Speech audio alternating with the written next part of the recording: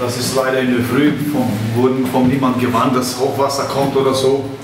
Das Wetter haben wir angeschaut, das, aber von niemand haben wir Warnung bekommen, dass wir schnell evakuieren oder dass Hochwasser hier kommt. Ich wohne hier seit neun Jahren.